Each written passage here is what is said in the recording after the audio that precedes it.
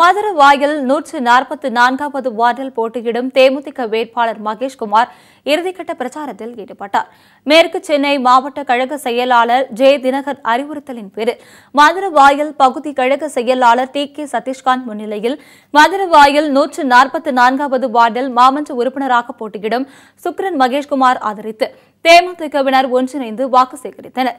கழக நிர்வாகிகள் வாகனங்களில் பேரணியாக சென்று தேர்தல் பிரச்சாரத்தில் ஈடுபட்டனர்.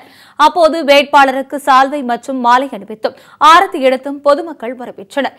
இந்த பிரச்சாரத்தில் எம் கே குமார் தங்கசுவாமி மற்றும் கழக நிர்வாகிகள் ஏராளமானோர் கலந்து கொண்டனர்.